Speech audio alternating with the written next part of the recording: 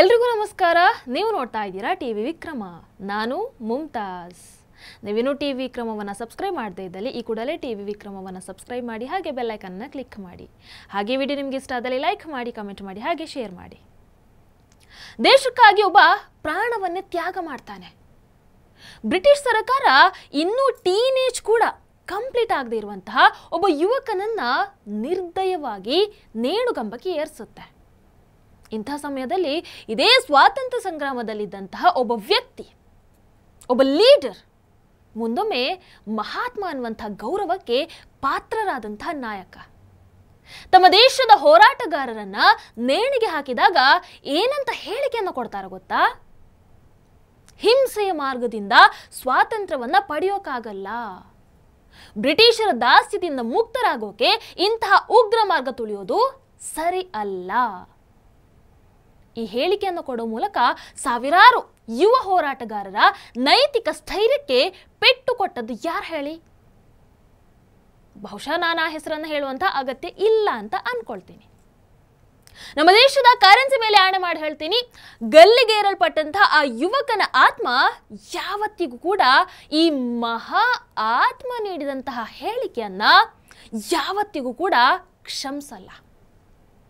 ಆದರೆ ಅದೇ ಹೊತ್ತಿಗೆ ಇನ್ನೊಬ್ಬ ಹಿರಿಯ ಸ್ವಾತಂತ್ರ್ಯ ಹೋರಾಟಗಾರ, ಬಾಲಗಂಗಾಧರ ತಿಲಕರು ತಮ್ಮ ಕೇಸರಿ ಪತ್ರಿಕೆಯಲ್ಲಿ ಬ್ರಿಟಿಷರ ಈ ಹೇಯ ಕ್ರಮವನ್ನ ಉಗ್ರವಾಗಿ ಖಂಡಿಸ್ತಾರೆ.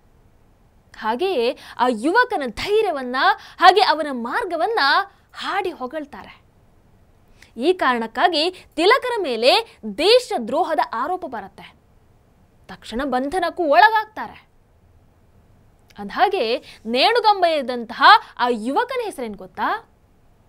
ನಮಗೆ ಬ್ರಿಟಿಷರು ಗಲ್ಲಿಗೇರಿಸಿದಂತಹ ಸ್ವಾತಂತ್ರ್ಯ ಹೋರಾಟಗಾರರು ಅಂತ ಅಂದ ಕೂಡಲೇ ಕಣ್ಮುಂದೆ ಬರುವಂಥದ್ದು ಭಗತ್ ಸಿಂಗ್, ಸುಖದೇವ್ ಹಾಗೆ ರಾಜ್ಗುರು ಆದರೆ ಇವರನ್ನ ಗಲ್ಲಿಗೇರಿಸೋಕು ಸುಮಾರು ಇಪ್ಪತ್ತ್ಮೂರು ವರ್ಷ ಮೊದಲೇ ಗಲ್ಲಿಗೇರಿಸಿದ್ದು ಖುದಿರಾಮ್ ಬೋಸ್ ಅವರನ್ನ.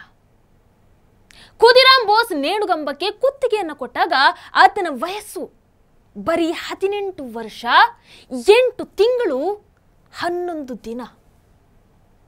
ಇವತ್ತು ಆಗಸ್ಟ್ ಹನ್ನೊಂದು. ಸ್ವಾತಂತ್ರ್ಯ ದಿನಾಚರಣೆಗೆ ಬರೀ ನಾಲ್ಕು ದಿನ ಇದೆ.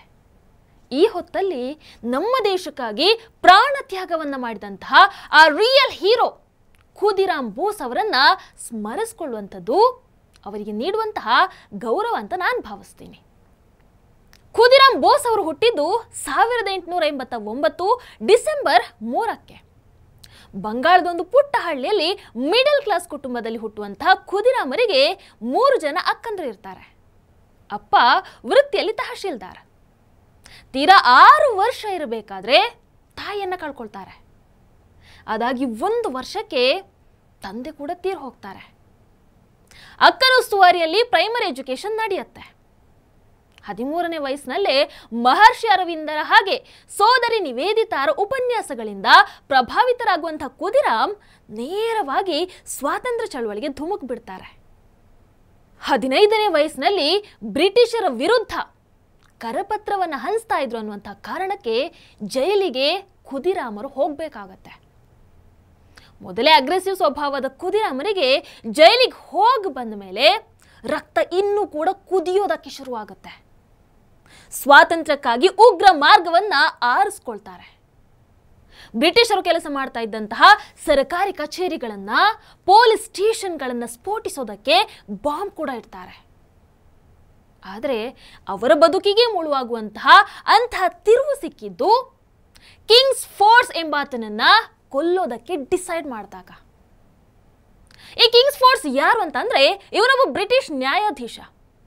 ಮ್ಯಾಜಿಸ್ಟ್ರೇಟ್ ಡಗ್ಲಾಸ್ ಕಿಂಗ್ಸ್ ಫೋರ್ಡ್ ನ್ಯಾಯಾಧೀಶನಂತಹ ಗೌರವದ ಸ್ಥಾನದಲ್ಲಿದ್ದರೂ ಕೂಡ, ಈತನ ನ್ಯಾಯ ಯಾವತ್ತಿದ್ರೂ ಕೂಡ ಭಾರತೀಯರ ವಿರುದ್ಧನೇ ಇರ್ತಿತ್ತು. ಎಲ್ಲ ಜಡ್ಜ್ಮೆಂಟ್ಗಳನ್ನು ಕೂಡ ಭಾರತೀಯರ ವಿರುದ್ಧನೇ ಕೊಡ್ತಾ ಇದ್ದ.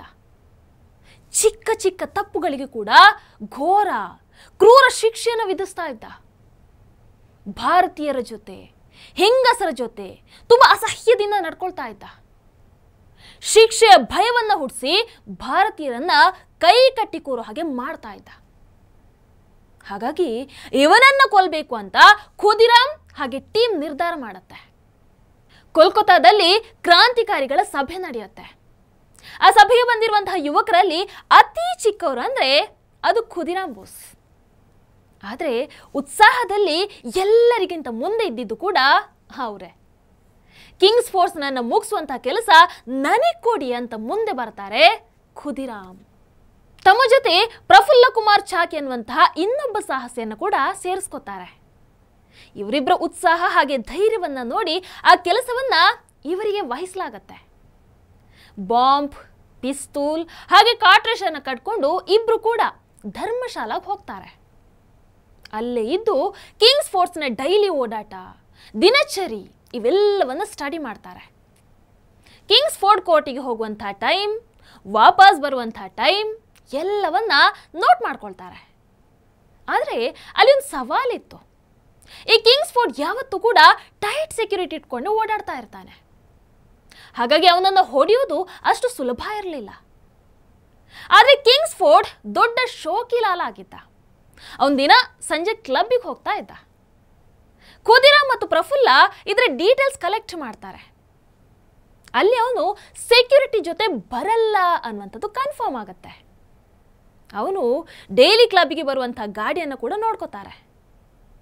ಇದೇ ಪರ್ಫೆಕ್ಟ್ ಪ್ಲಾನ್ ಅವನು ಕ್ಲಬ್ಬಿಂದ ವಾಪಸ್ ಹೋಗುವಂತಹ ಟೈಮ್ ನೋಡಿಕೊಂಡು ಗಾಡಿ ಒಳಗೆ ಬಾಂಬನ್ನು ಇಟ್ಟು ಸ್ಫೋಟಿಸ್ಬಿಡೋಣ ಅಂತ ಇಬ್ರು ಕೂಡ ಸೇರಿ ಪ್ಲಾನ್ ಮಾಡ್ತಾರೆ. ಅದು ಏಪ್ರಿಲ್ ಎಂಟು ಸಾವಿರದ ಒಂಬೈನೂರ ಎಂಟು. ಕ್ಲಬ್ ಎದುರು ಒಂದು ಉದ್ಯಾನವನ. ಅಲ್ಲೇ ಒಂದು ಪೊದೆ ಒಳಗೆ ಬಚ್ಚಿಟ್ಕೊಂಡು ಕೂರ್ತಾರೆ ಖುದಿರಾಮ್ ಮತ್ತು ಪ್ರಫುಲ್ಲ.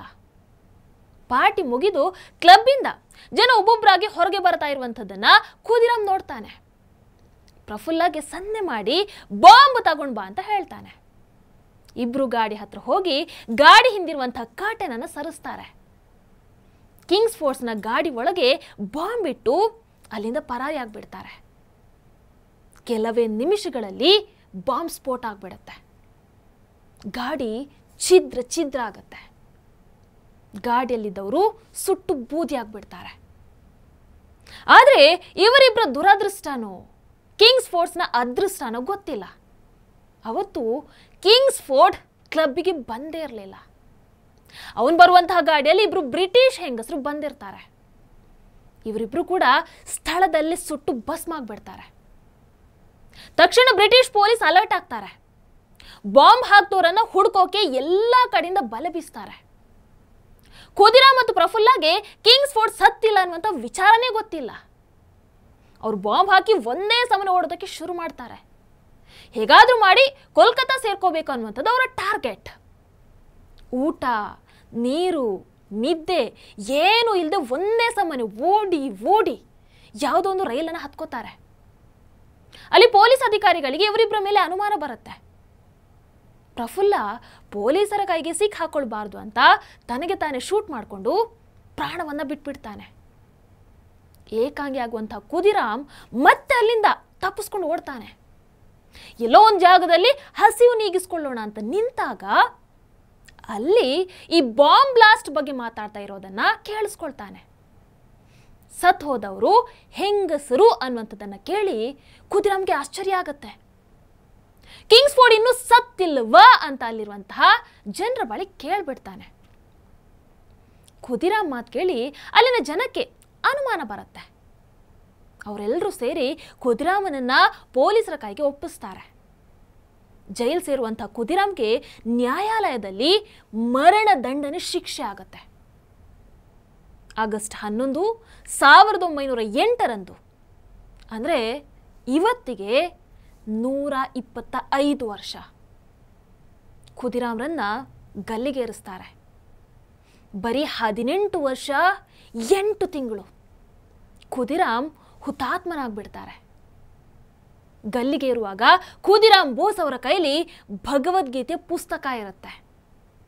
ಸ್ವಲ್ಪ ಕೂಡ ದುಃಖ ಪಡದೆ ನಗ್ನತ್ತ ಖುದಿರಾಮ್ ನೇಣಿಗೆ ಕುತ್ತಿಗೆಯನ್ನು ಕೊಡ್ತಾರೆ. ಇದು ಖುದಿರಾಮ್ ಬೋಸ್ ಅನ್ನುವಂತಹ ಹುತಾತ್ಮ ವೀರನ ಕತೆ. ಇವತ್ತು ಈ ವೀರ ಯೋಧನ ಪುಣ್ಯ ಸ್ಮರಣೆ ಜೈ ಹಿಂದ್, ಜೈ ಭಾರತ್. ನಿಮ್ಮ ಅನಿಸಿಕೆ ಏನು ಅನ್ನುವಂಥದ್ದನ್ನು ಕಾಮೆಂಟ್ ಮೂಲಕ ತಿಳಿಸಿ. ಹಾಗೆ ವಿಡಿಯೋ ನಿಮಗೆ ಇಷ್ಟ ಆದಲ್ಲಿ ಲೈಕ್ ಮಾಡಿ ಶೇರ್ ಮಾಡಿ. ನಮಸ್ಕಾರ. ಟಿವಿ ವಿಕ್ರಮ. ದೇಶ ನಿಮ್ಮ ಕೈಯಲ್ಲಿ. ಈ ಕಾರ್ಯಕ್ರಮ ನಿಮಗೆ ಇಷ್ಟ ಆಗಿದ್ರೆ ಲೈಕ್ ಮಾಡಿ ಶೇರ್ ಮಾಡಿ. ಟಿವಿ ವಿಕ್ರಮದ ಕಾರ್ಯಕ್ರಮವನ್ನು ನಿರಂತರವಾಗಿ ವೀಕ್ಷಿಸಲು ಸಬ್ಸ್ಕ್ರೈಬ್ ಮಾಡಿ ಬೆಲ್ ಬಟನ್ ಒತ್ತಿ.